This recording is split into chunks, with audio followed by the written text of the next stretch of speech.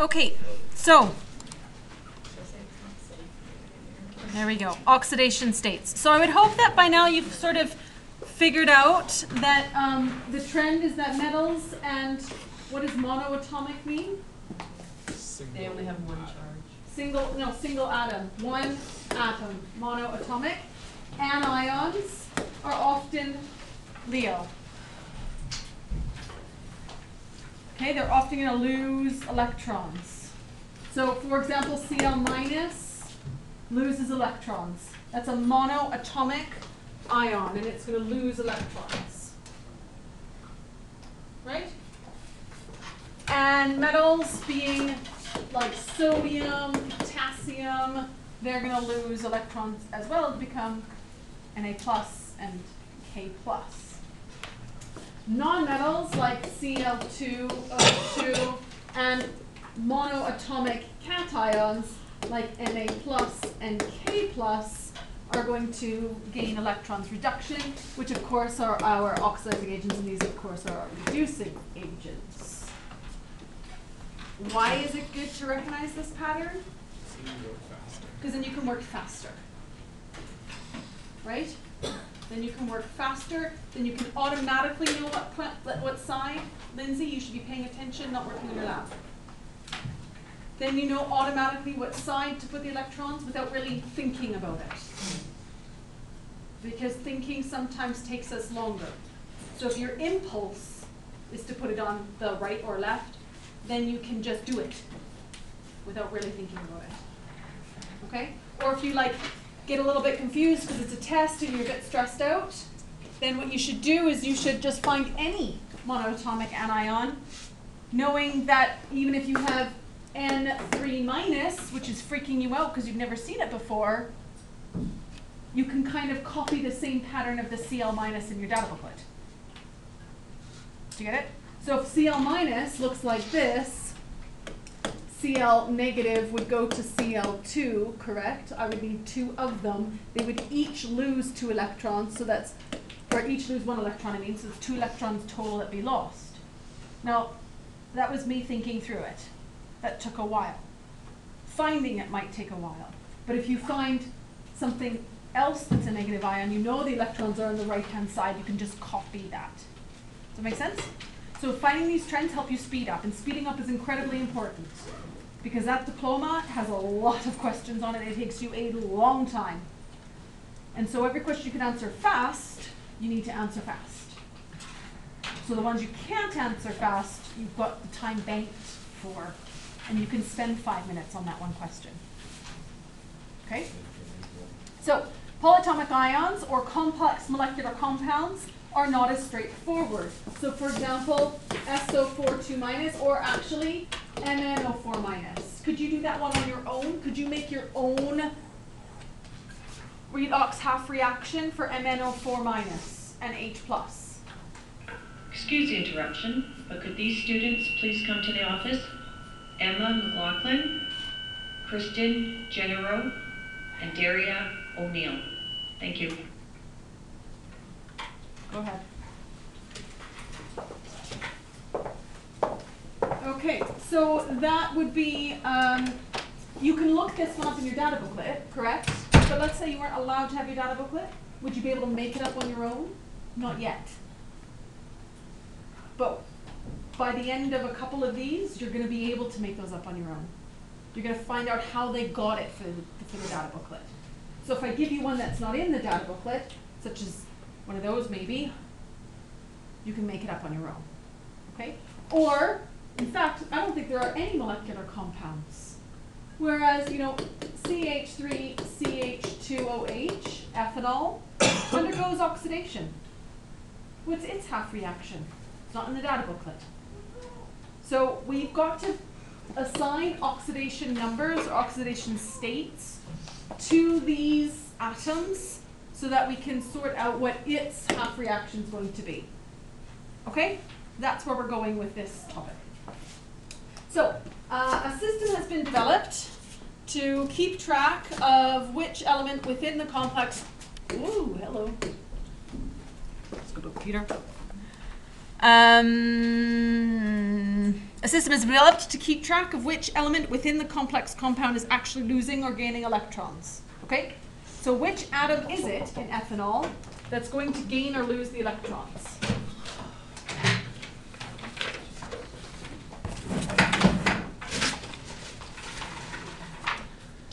Every element is assigned an oxidation state. This simply means that we keep track of the electrons. It does not represent an actual charge, but it's going to feel a lot like we're talking about ions. Okay? Because the oxidation state on Na plus is 1 plus. And the oxygen state on O2 minus is 2 minus. So it's going to feel a lot like we're talking about ions, but I need you to understand, because a lot of my Chem 20s do not understand, that CH3, CH2, OH has absolutely zero ions in it. Do you understand that? Every single one of these is a neutral atom. No ions. But we're going to assign a charge to it as if it was an ion. Because in that covalent bond, you should probably know, like for example, this carbon oxygen hydrogen bond looks like this, right? And you should know that there's an electronegativity difference in these, of which this shared pair is not evenly shared. Did you know that? Electronegativity means the affinity for electrons. There are numbers on the data booklet. Hi, uh, fluorine has the highest electronegativity.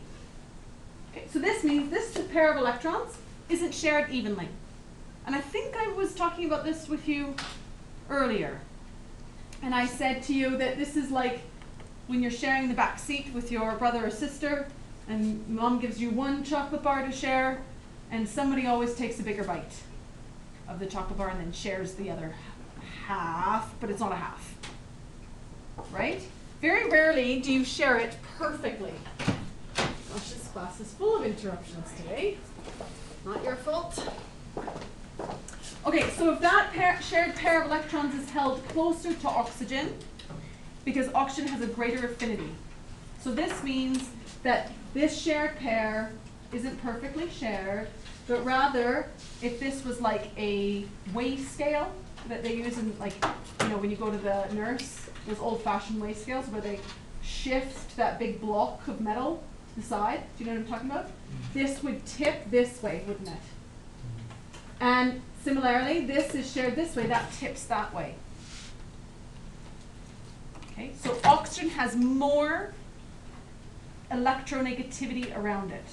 So if this shared pair is more like a cloud, imagine me blowing this cloud this way, blowing this shared pair cloud that way, and what happens is this cloud here gets quite dense, and this cloud here gets very thin. So this becomes relatively negative. Do you remember these symbols from Chem 20? Up on that end, making it a polar molecule. Okay, so what's the point of this? The point of this is that oxygen is going to have more electronegativity, therefore we give it a more negative oxidation number, but it's not charged. This isn't O2 minus. But it has two electrons kind of near it, more than the other ones. Okay, so oxidation numbers are based on electronegativity, which talks about the unfairly shared pair of electrons between it. Remember that? Remember calculating electronegativity differences from the data booklet in Chem 20? Vaguely? Hello out there? Okay. All right, so let's just get to the point. Oh no, an oxidation number is a positive or negative number assigned to an atom. It's the same thing as an oxidation state. Okay, so if I ask you both those words, you need to be able to recognize them on a quiz. If I say, what is the oxidation state? It's the same thing as oxidation number. Okay, so assuming that it has to do with electroactivity, I've defined it there for you to remind you. All right, so let's jump to the point. There are rules you have to follow when you're doing these oxidation numbers, okay? And these numbers, I think I've given you the rules twice. They're slightly different. They're slightly different. I must have summarized it. I like these ones. Let's go to these ones. Rules for assigning oxidation numbers. First of all, when you have a compound, when as you're calculating the oxidation numbers, they have to add up to the charge of that compound. Okay? So all my oxidation numbers after in water, once I figure out the oxidation number of hydrogen and the oxidation number of oxygen, they have to add up to give me a total charge of zero because water has a total charge of zero. Okay? When I look for phosphorus, when I figured out the number for phosphorus and I figured out the number for four oxygens, that total, adding those up, should equal negative three. Did you get it? Okay, so now we have to figure out how to figure out those numbers then, which we need to add up to get negative three. So number two, all elements, chlorine, iron, whatever, every element has a charge of, an oxidation number, I mean, of zero. It also has a charge of zero, but it has the oxidation number of zero. Okay? Third rule. Fluorine, because it has the highest electronegativity, is al- always has first call on the electro on the um, oxidation number of negative one. Okay. Group one, so lithium, sodium, potassium, rubidium, cesium, francium is always one plus. I should probably say ions. Group one ions. We change that, please. Group one ions. Li plus and plus are always one plus. Group two, if you have something that's in group two ions, is always plus two. And you follow them in this order. You do your F's, then you do group ones numbers, then you do group two numbers, then you do your H numbers. So H is always plus one, unless it comes with a group one or group two, because we've already done that one. So for example, NaH. These rules tell us that I have to do Na first because it's a group one ion. Everybody get that? Because it came first in our list. There's no F, there is a group one. Group one ions are always one plus, so this becomes one plus. Na is one plus in this compound.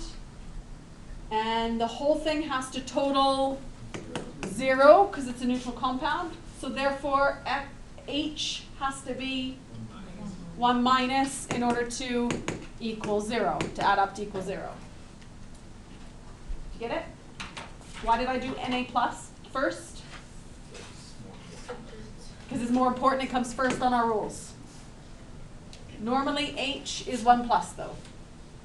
So for example, in water, there, so H2O, there's no F, there's no group one, there's no group two, so I'm starting here with my H's. And the H's are one plus. So one plus. Oops. And how many H's have I got? Two of them. So that's two plus in total. And therefore that has to equal plus something has to equal zero because it's a neutral compound. So what must oxygen be then? Negative two. So hydrogen is positive one. I have two hydrogens, so that's positive two in total. The whole thing has to equal zero, so this is negative two. Okay? Daria? So this is just telling you which one to look at first, and then that helps you determine what the other. um, Oxidation numbers are for Okay. all of them. Okay. Evan? Um, so. Were you distracted by your phone there for a minute as you were thinking of your question? No need to Sorry. look. Yeah, um, uh, so when you got the hydrogen oxidation number of plus two and plus one, Ho- Hydrogen of plus one, plus one, Yeah. so the oxidation number would be plus one, the plus two is just. Two of them. Two of So I, in total, I have a charge of two plus. So remember, water looks like this. So this is one plus, this is one plus, this is now two minus, so that the whole thing is neutral. Okay. Does that oxygen have a two minus charge? No, it has a two minus oxidation number. They're different, but actually, in kind of while you're doing them, doesn't oxygen always have a two minus? So therefore, that's a gut feeling anyway. So we'd probably put two minus, and hydrogen's always on plus anyway. That's a gut feeling, so we put that anyway. So it is very similar to our charges. So you should always already have a feeling for these, but make no mistake, by definition, they are not charges. This is not a charged molecule. These aren't ions. Okay? Right, and then next we do oxygen, it's a two minus unless it has F first. So for example, OF2, what would we do first? We do fluorine first, so what did we say fluorine was? Minus one. Minus one, how many of them I, do I have? I have two, so what does that leave for my oxygen? Plus two. Plus two. Now that's weird, isn't it? Plus two.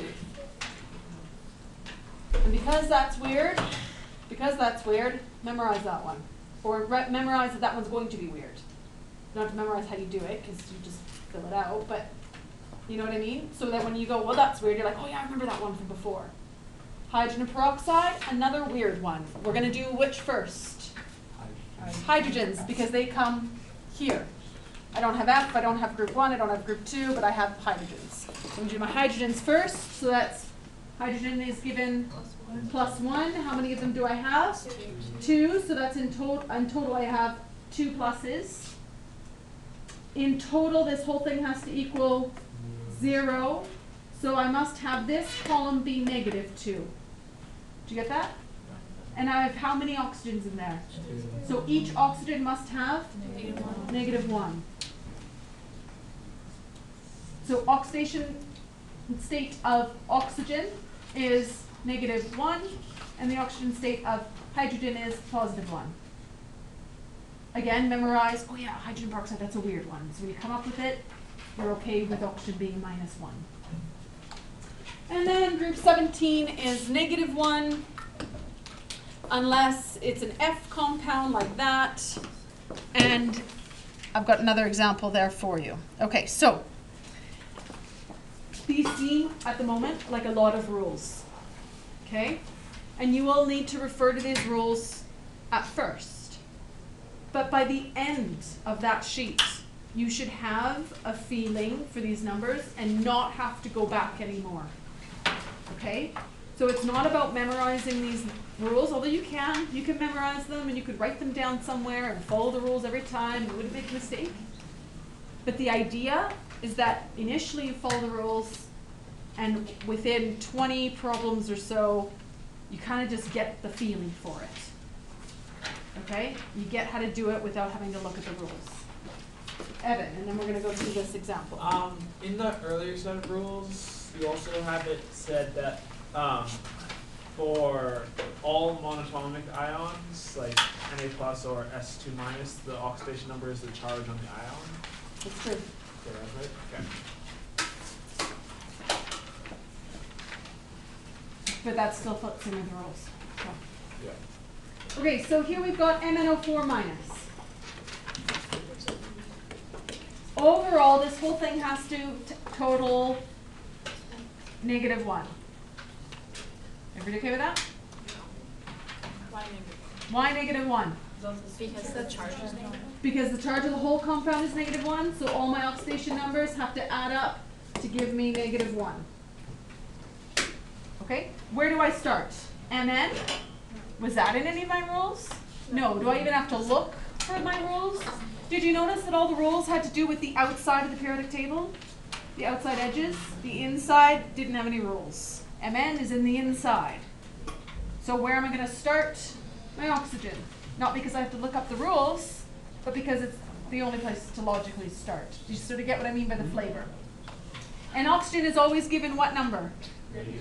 Negative two, unless it's one of the weird ones, right? So here we go, negative two, and how many oxygens have I got? Four. Four, so that makes a total of negative eight. So what was, what must my Mn be? Seven. Positive seven. So it doesn't always equal zero, it equals the charge of the overall. Right, yes, yeah, you missed that bit. Senior class change. Got it? Your homework is to finish that lab data and calculations. And then you're, everybody will be in the same spot tomorrow.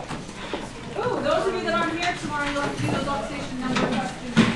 What about Friday as well? Friday, check Moodle. Me put it'll probably be quite an easy day. Do you understand it? Hold on, let me push.